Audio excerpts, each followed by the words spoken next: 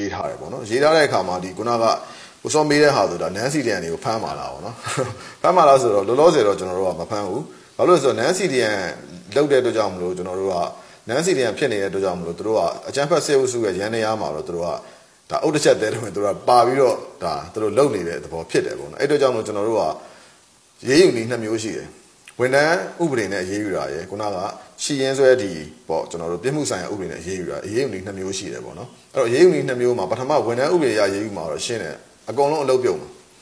နန်းစီရီကနေမှန်သမျှကိုမှန်သမျှကိုကျွန်တော်တို့အလုပ်ပြုတ်မယ်နော်အလုပ်ပြန်ပြီးတော့ဒါတို့တို့အစောကြီးကကျွန်တော်တို့အတိမတ်မပြုတ်တော့ဘူးလीနော်ဒီစေအုပ်စုရဲ့ဝင်ကိုထမ်းနေပြီဆိုတော့ကျွန်တော်တို့ကဒါဝန်ထမ်းအဖြစ်ကျွန်တော်တို့ကနိုင်ငံဝန်ထမ်းမဟုတ်တော့ဘူးဗျာ နော်ဒါဒါအဘဝန်ထမ်းဖြစ်ရင်ဖြစ်မှာပေါ့နော်နိုင်ငံဝန်ထမ်းတော့မဟုတ်တော့ဘူးပေါ့နော်အဲ့တော့အဲ့ဒီကြောင့်မလို့ဒီလူတွေကအလုပ်ပြုတ်မယ်အဲပြုတ်တဲ့အခါမှာသူကနှစ်ပိုင်းကျွန်တော်တို့ခွဲတယ်ပေါ့နော်ဒုတိယညွှန်ကြားမှုရဲ့အဆင့်နဲ့အထက်ပေါ့နော်ဒုညွှန်ဒုညွှန်နဲ့အထက်ဆိုရင်ဒီလူတွေကပြန်လျှောက်ပိုင်ခွင့်မရှိဘူး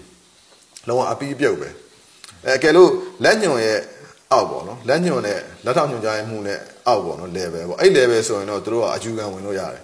အယူခံဝင်လို့ရတယ်ပြီးတော့ကျွန်တော်တို့ပြန်ပြီးတော့ဒီအလုပ်ကိုပြန်လုပ်ချင်ပါတယ်ဆိုပြီးရှောက်ထားခွင့်ရှိတယ်ပေါ့နော်အဲအဲ့အဲ့ရှောက်ထားခွင့်ကိုလည်းပဲကျွန်တော်တို့ခုနကပြောတဲ့ non CDN နေစီမံခန့်ခွဲရေးဒီ committee ဆိုတာမျိုးကျွန်တော်တို့ဖွဲ့ပြီးတဲ့အခါမှာအဲ့အဖွဲ့ကစီစစ်မှာပေါ့နော်တို့ဘာတွေလုပ်ခဲ့တယ်ဒီပုံမှာမူတည်ပြီးတော့ပြန်ပြီးတော့တို့အလုပ်အဲခိုင်းတာမျိုးလုပ်ပြန်ဝင်စေတာမျိုးအဲကန့်တက်အချက်အချို့နဲ့ပေါ့နော်ပြန်ဝင်စေတာမျိုးဒါမျိုးတွေရှိတယ်ပေါ့နော်ဒီပွင့်လင်းလေးပြောရရင်ဗျာဒီ2021 April ကစလို့ဒါ CDN တကားကဒါပိတ်သွားပြီဗျာပိတ်သွားပြီပိတ်သွားပြီးတဲ့အခါမှာအဲ့2021 April နောက်ပိုင်းမှသာ CDN လုံးချင်ပါတယ်ဆိုပြီးဝင်လာတဲ့သူမှန်သမျှဟာချက်ချင်း CDN တမ်းမဖြစ်တော့ သူတို့မှာခိုင်လုံတဲ့အကြောင်းပြချက်ရှိလားမရှိဘူးလားပေါ့နော်ဒီပေါ်မှာကျွန်တော်တို့ကအဲစီစစ်ပြီးတော့မှသာလင်းသူတို့ကိုဒါ CDN အဖြစ်ရှောက်ထားခွင့်ဆိုတာမျိုးပြန်ပြီးတော့တာဝန်ထမ်းဆောင်ခွင့်ဆိုတာဒါမျိုးကိုကျွန်တော်တို့ကပေးမှာပေါ့နော်အဲ့ဒါကြောင့်လို့ဒါတကား CDN တကားကတော့ပိတ်ပြီးလို့ပဲကျွန်တော်တို့ကပြောရမယ်ဒါပေမဲ့တကားကိုခတ်ဟဟလေးတော့ကျွန်တော်တို့ဟာပေးထားတယ်အဲ့ဒီဟာကလည်းသူတို့နန်းစီတန်ဘွားမှာဘာတွေလုပ်ခဲ့လဲပေါ့ဟာမူတည်တယ်ပေါ့နော်အဲ့တော့ဒါအခုကျွန်တော်ပြောခဲ့တာကဝန်ထမ်းဥပဒေနဲ့အရေးယူတာပေါ့နော် တချို့နန်းစီတန်တွေကြတော့ဝန်ထမ်းဥပဒေရတယ်မဟုတ်ပဲနဲ့ဒီစေအုပ်စုနဲ့ထဲထဲဝင်ဝင်ကိုပူပေါင်းပြီးတော့ဒီစေအုပ်စုရဲ့ဒီအကြမ်းဖက်လုပ်ရက်တွေမှာ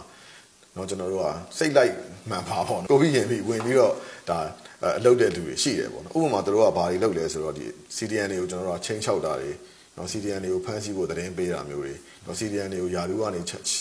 ရှော့ပြတာတွေပြီးတော့လူခွင့်ချိုးဖောက်မှုတွေဒီဌာနတွင်းမှာလုပ်တာတွေဒါမျိုးတွေပေါ့နော်အဲဒီလိုကိစ္စမျိုးတွေလုပ်ခဲ့တယ်ဆိုရင်တော့ဒါကဝန်ထမ်းရေးရာကိစ္စတွေမှာမကတော့ဘူးပေါ့နော်ဒါမျိုးတွေကျူးလွန်မှုတွေရှိလာပြီဆိုရင် NCTN များကျွန်တော်တို့ဒါစီမံခန့်ခွဲရေးကော်မတီကနေပြီးတော့ဒါတွေပေါ်ပေါက်တာရှိခဲ့တယ်ဆိုရင်တော့ဒီလူတွေကိုကျွန်တော်တို့ကဝန်ထမ်းဥပဒေနဲ့အရေးယူတာတွေမကပဲနဲ့နောက်ခုနဒီရှီရင်ဆွဲဥပဒေနဲ့မှာထပ်ပြီးတော့အရေးယူတာမျိုးတွေဒါဆောင်ရွက်မယ်ပေါ့နော်အဲ့တော့အခုအခုလက်ရှိကတော့ဒါဒီမူဝါဒတွေအတိုင်းကျွန်တော်တို့ဒါကျင့်သုံးနေပြီဖြစ်တယ် ဒီလွိုင်ကောကကိစ္စမှာဆိုရင်လည်းကျွန်တော်တို့